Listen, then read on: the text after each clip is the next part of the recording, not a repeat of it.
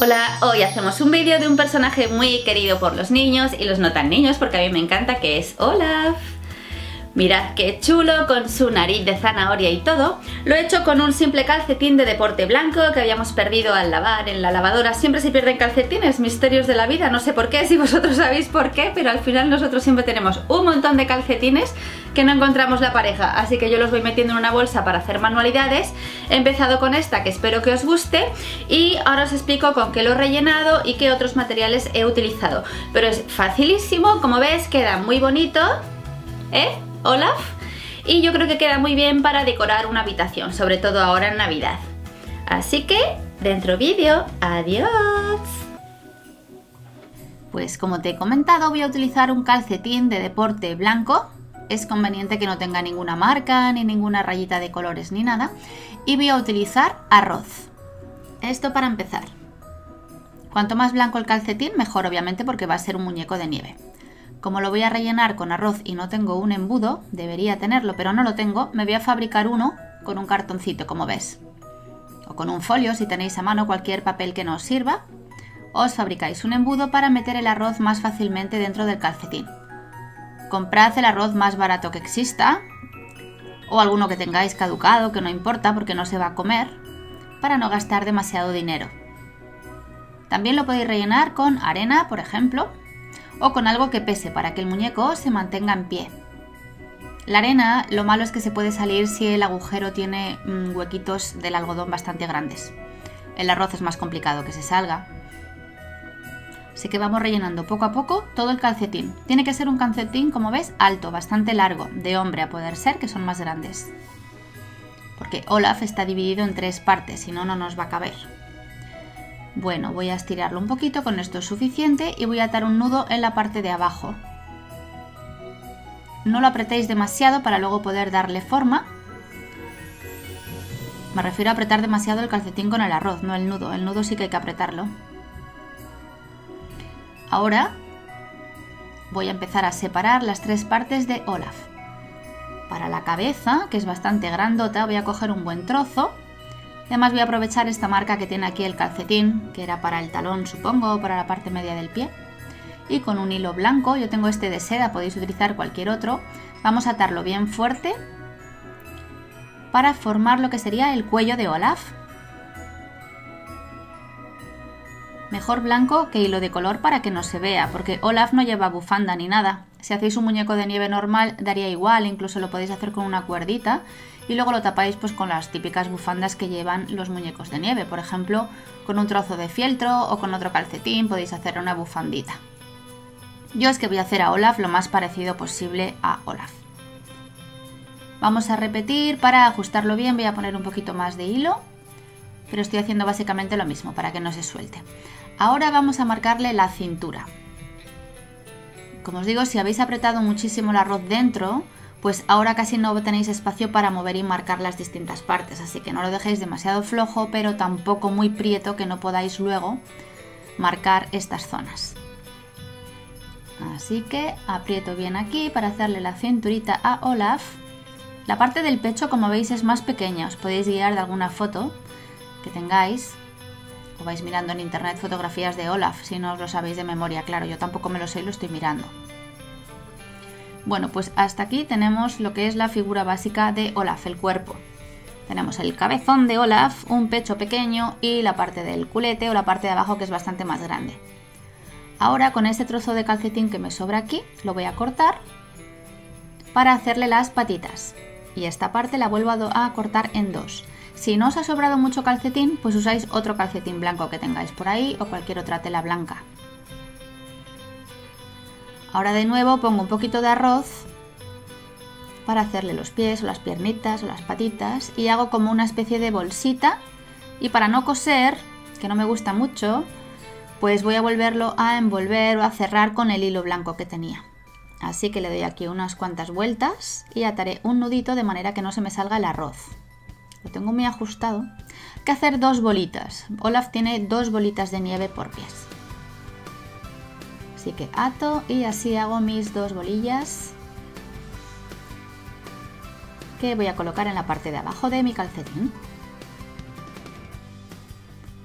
Así. Pues aquí tengo las dos bolitas, he cortado un poquito el exceso arriba y lo voy a pegar con silicona para no tener que coser. También podéis coser si queréis. Las voy a colocar un poco hacia adelante, no abajo al lado del nudo, porque no quiero que se vea el nudo. El nudo lo voy a dejar abajo más tirando hacia la parte de atrás para que cuando se siente Olaf o se ponga de pie no se vea. Así que las colocáis un poquito por delante como estáis viendo. De manera que veis, al ponerlo así, se ven delante y no se ve el nudo de abajo. Las pegáis bien con vuestra silicona o un pegamento muy fuerte por todos los lados. Ahí lo tenemos. Bueno, Olaf ya va cogiendo forma.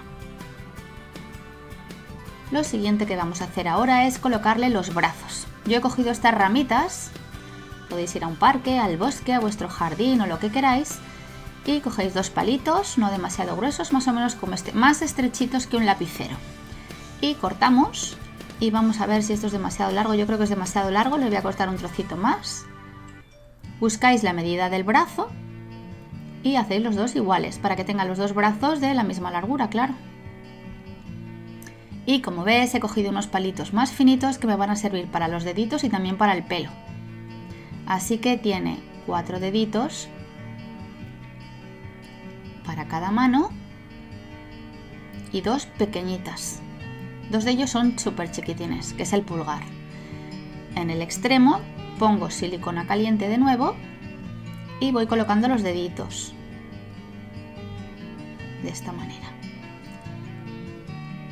Así abiertos y el pulgar lo voy a colocar un poco más abajo. Aquí, es un palito más corto. ¿Veis?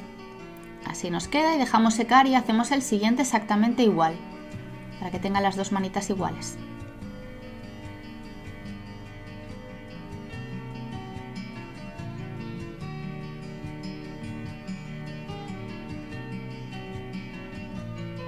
Ahora las pegamos así colocadas hacia arriba en el calcetín, en la parte que era el pecho, más o menos de la mitad, hacia la mitad hacia arriba. El pulgar hacia adentro, no os equivoquéis. Ahora vamos a hacerle los botones del cuerpo.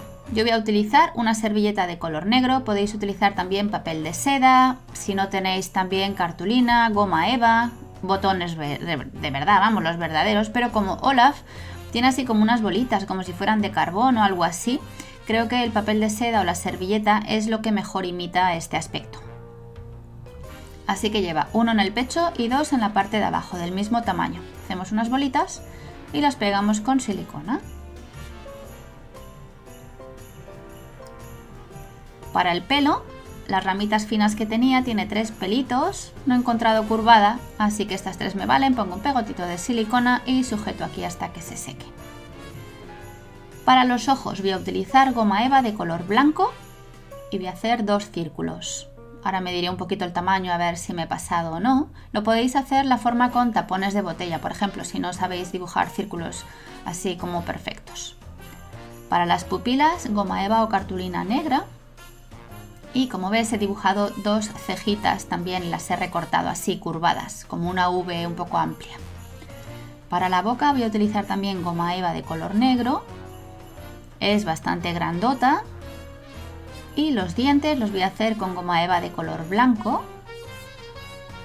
Los bordes son redondeados y no cubren toda la boca. Por la parte de atrás, para marcar la curvatura, lo hago así, como ves, simplemente lo marco con lapicero y lo recorto.